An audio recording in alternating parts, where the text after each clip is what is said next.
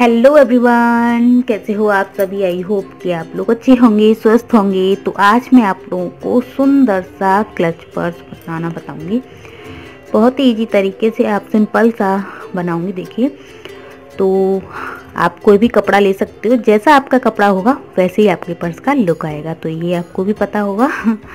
तो मेरे पास ये टुकड़े पड़े थे तो मैंने कट नहीं किए हैं किसी में से। ही तो ये टुकड़े थे दो मेरे पास तो मैं उसी का ही बनाना बताऊँगी। और इसके बराबर की देखिए, मैंने दो पीस फॉर्म के कट किए हुए हैं। आपके पास जो दूसरी फॉर्म आती है, वो भी आप यूज़ कर सकते हो। इसी के साइज़ के किए हैं। और ये दो मैंने अस्तर कट किए हुए हैं, इसी के साइज़ के। तो ये हो गए। अब देखिए, हमें नीचे एक अस्तर रखना है और ऊपर से इसे रखना है। और इसे रख कर सेट कर लेना है। तो मैं इतना काम कर लूँगी। और देखिए, मैंने एक लिया है लटकन, सुंदर सा। और मैंने लिया है एक लेस और एक ली है मैंने चैन। इसके बराबर की कट की है। देखिए, थोड़ी सी इससे बड़ी है। तो इसी के बराबर की हमने चैन कट कर ली है और एक लिया है हमने कुंदा। और ये देखिए, हमने लेस कितनी बड़ी ली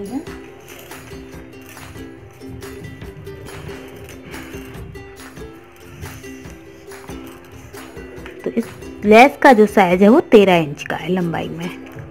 तो चलिए हम स्टार्ट करते हैं बैग बनाना। तो मैं इसको पहले सेट कर लेती हूँ, जैसे अस्तर, और फिर ऊपर से फॉर्म और फिर ऊपर से कपड़ा लगाकर। तो देखिए, मैंने इसको आलपिन से सेट कर दिया है, केवल सिलाई नहीं लगाई है।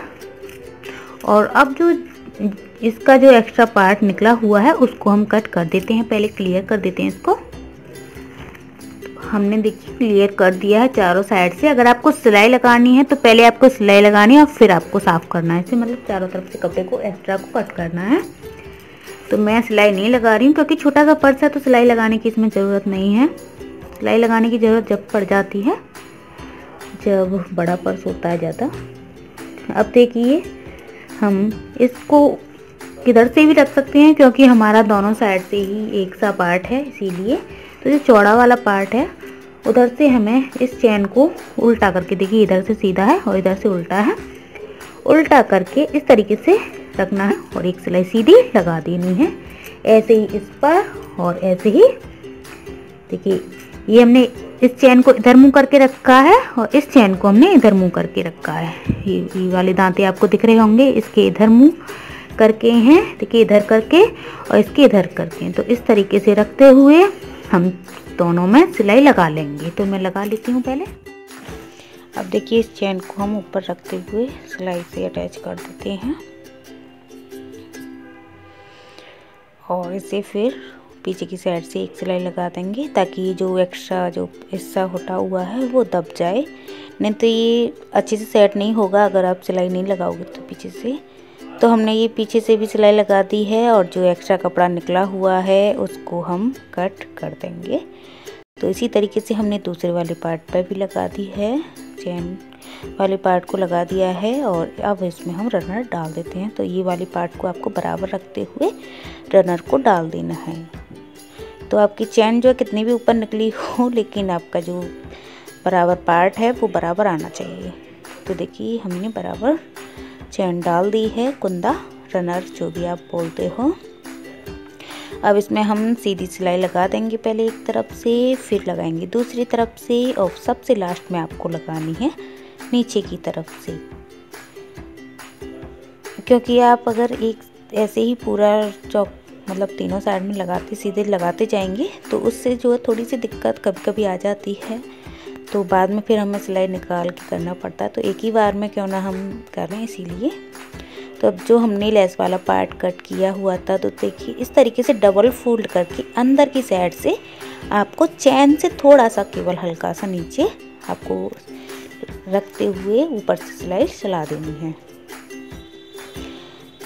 तो ये जो है, कहीं अगर आप मार्केट वगैरह जा रहे हो या पार्टी वगैरह में जा रहे हो तो आप इसे हाथ में अच्छे से टांग सकते हो। क्योंकि जो है, हम कभी कभी क्या होता है, कुछ सामान लेते हैं, अगर आप मार्केट में जा रहे हो, सामान वगैरह लेते हैं तो हम रख देते हैं तो भूल भी जाते हैं। तो इसीलिए इसे अगर आप कोई भी सामान देख भी रहे हो तो इसे आप हाथ में आराम से टांग के कर सकते हो, और जा भी सकते हो, कहीं भी जा रहे हो तो।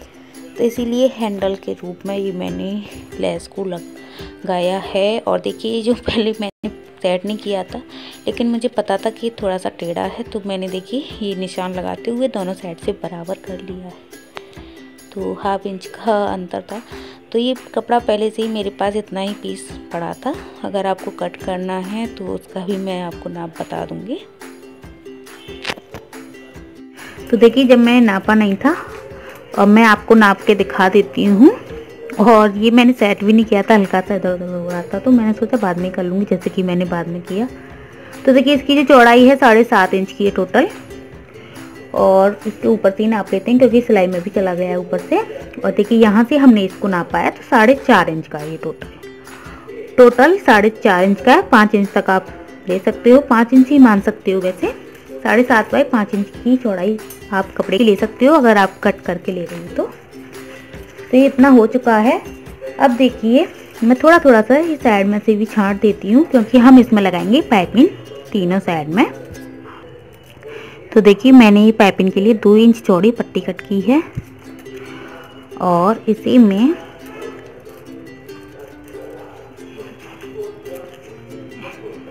ऐसे करके रखूँगी पहले, फिर इसे ऐसे फोल्ड करके एक बार पहले सिलाई लगा लूँगी तीनों साइड में। तो देखिए, मैंने ये तीनों साइड में पट्टी लगा ली है इस तरीके से।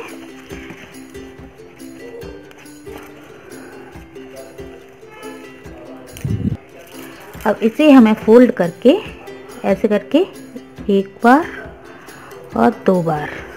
फिर से ऊपर से सिलाई लगा देनी है तीनों साइड में। तो देखिए पाइपिंग हमने सिल दी है पूरी। अब इसे हम सीधा कर लेते हैं और फिर आपको दिखाते हैं इसका फाइनल लुक तो देखिए, ये हमने सीधा कर लिया है और बहुत ही, बहुत ज़्यादा ब्यूटीफुल सा लग रहा है। आपको रियल में इतनी शाइनिंग की वजह से नहीं लग रहा हो, लेकिन सच में बहुत ही अच्छा बना हुआ है पार्टी वियर एकदम। तो आप इसे कहीं भी ले जाना चाहो तो ले जा सकते हो। पार्टी वियर हमारा पर्स रेडी है।